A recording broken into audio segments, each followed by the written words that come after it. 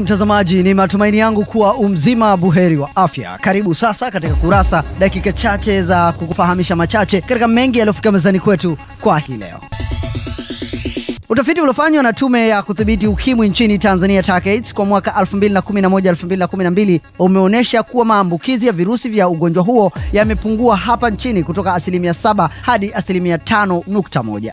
Aidha, utafiti huo umeonyesha pia kwamba vifo vitokanavyo na ugonjwa wa ukimwi vimepungua kutokana na watu wanaoishi na virusi vya ugonjwa huo kuhamasika kutumia dawa za kufubaza ukimwi.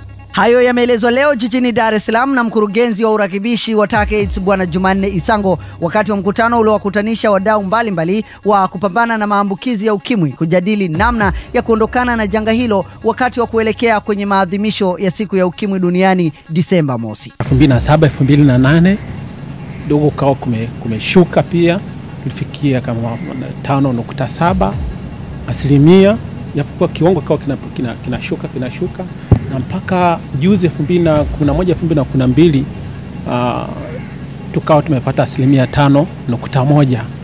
Kwa hiyo hii inaonyesha kwamba maambukizi mapya na maambukizo kwa ujumla yanapungua. Kwa hiyo kama tunafuata uh, mwelekeo huo ni kwamba tutafikia mahali sasa tupate maambukizi mapya. Tuendelee na Kurasa. Zaidi ya wanafunzi elfu tano wanalazimika kukaa chini katika maeneo mbalimbali ya wilaya ya Misenyi mkoani Kagera kutokana na kukosekana kwa madawati ya kuwatosha wanafunzi wapatao 38,900 katika wilaya hiyo. Sababu hiyo imemfanya mbunge wa jimbo la Nkenge wilayani Misenyi, Mheshimiwa asumta Mshama kuwaomba Watanzania na wakazi wa Nkenge na Misenyi wanaoguswa na tatizo hilo la kielimu kuungana katika kampeni ya kuchangia dawati ili wanafunzi hao wasome katika hali ya kawaida. Nia yetu kubwa ni kuhamasisha kila mtu, sio mwaya tu, yeyote ambaye ana moyo wa kupenda, moyo wa kutoa atusaidie, na namshukuru Mungu nikiwa hapa hapa mtu amenikuta amenichangia madawati mia moja na ameniambia nisiseme jina lake, Mungu peke yake ndiye anajua. Kwa hiyo on top of 30 million uh, juu ya milioni 30 tuna madawati mia moja tayari mkononi. Kwa hiyo na madawati yenyewe atayatengeneza kwa namna ya tofauti. Tumalizie Kurasa kwa hili.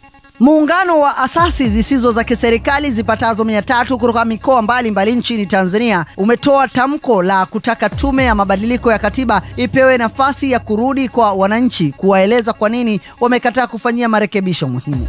Asasi hizo zimetoa tamko hilo leo ikiwa ni hitimisho ya mkutano wa siku tatu wa kujadili mambo muhimu ambayo hayakupewa kipaumbele kwenye rasimu ya katiba mpya. Sisi AZAKI tunatoa wito kwa mamlaka ya nchi kuhakikisha kuwa mchakato wa katiba mpya unazingatiwa kuwa muda wa kupeleka elimu kabla ya kupiga kura hautoshi.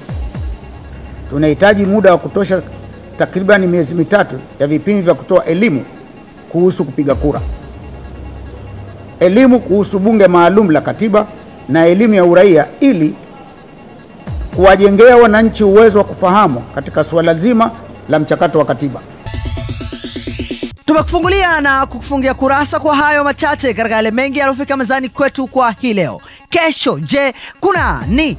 Tafadhali usikose kuangalia dakika chache za Kurasa, alafu tuandikie maoni yako kupitia barua pepe yetu ambayo ni kurasa at eatv.tv. Kwa niaba ya wote walioshiriki kuletea Kurasa, mimi ni Laltaika Noa Laltaika.